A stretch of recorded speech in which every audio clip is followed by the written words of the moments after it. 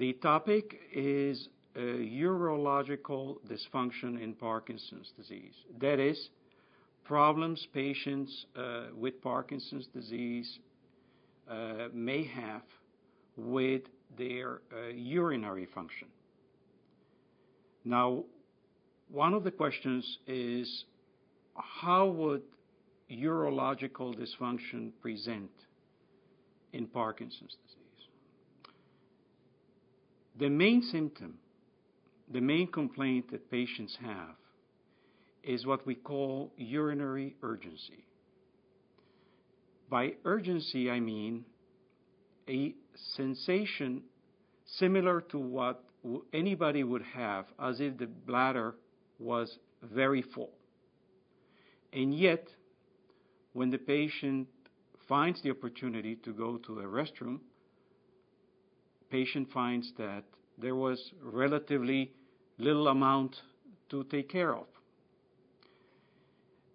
If you pair that kind of symptom, that is urinary urgency, hap- happening very frequently throughout the day, you end up with a second symptom, which is what we call frequency, which is the natural product of having urinary urgency. Since the bladder, as it fills up, it has barely filled up when the patient is already having that symptom. In addition to that, the patient may have what we call nocturia. And nocturia would mean a need to get out of bed in the middle of the night to go to the bathroom. And that may happen a few times during the night, being one of the causes of disruption of patients' sleep.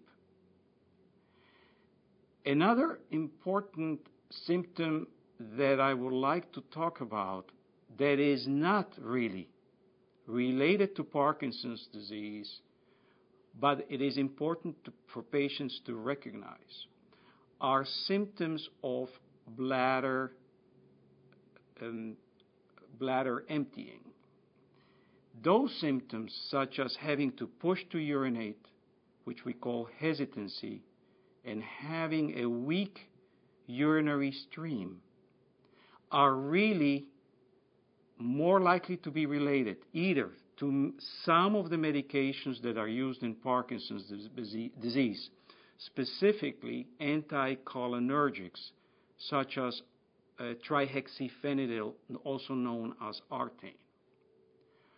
Or in a male patient, it is important to rule out an enlarged prostate.